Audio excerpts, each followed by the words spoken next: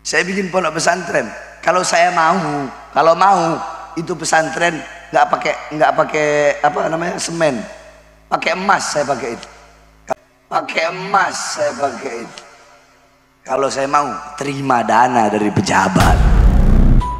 Wow, luar biasa.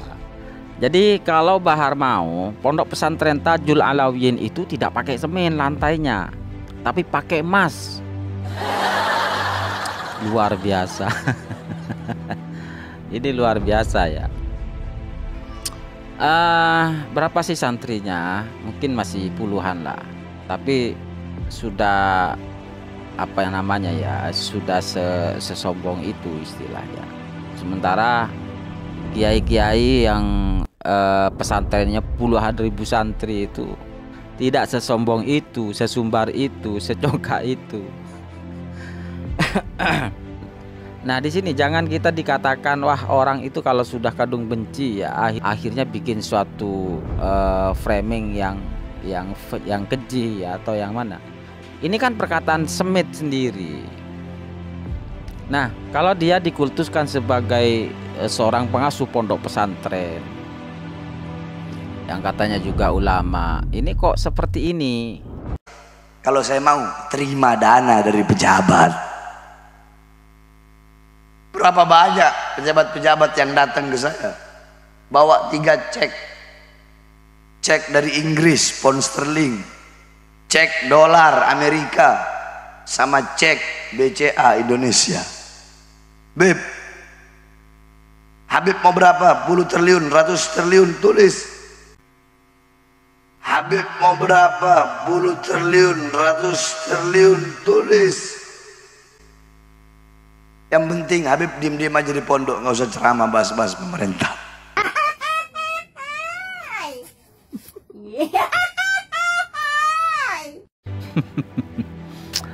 Oke guys, ini gini guys ya. Uh, pejabat pemerintah pernah menyodorkan tiga cek, termasuk uh, salah satunya cek bank BCA ya itu senilai 100 triliun guys 100 triliun agar supaya Bahar tidak lagi membicarakan tentang pemerintah jadi begitu takutnya pemerintah sama Bahar ini sehingga harus merogoh kocek yang sangat besar sekali 100 triliun agar supaya Bahar tidak berbicara tentang pemerintah namun sayangnya sayangnya pemerintah harus menelan kekecewaan. Kenapa? Karena 100 triliun itu ditolak oleh Bahar Smith.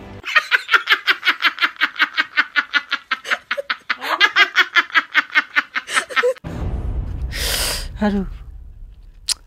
Piye guys ya. 100 triliun. Kalau uh, kita tahu penampakan 100 triliun itu berapa ya? Uang 20 triliun saja itu penampakannya itu satu truk besar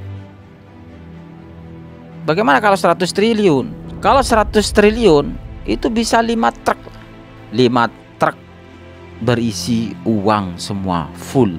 Rombongan truk pengangkut uang menuju rumah Bahar Smith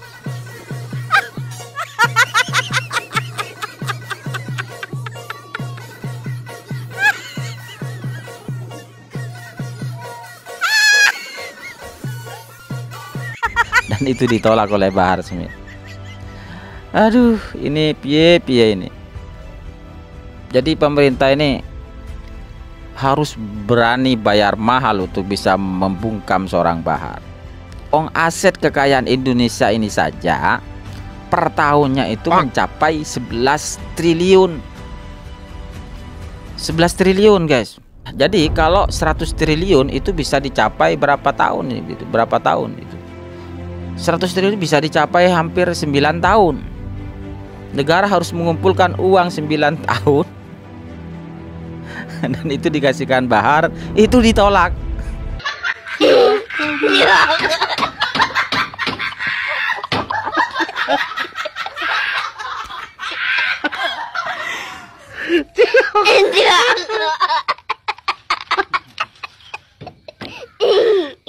Aduh, Karim.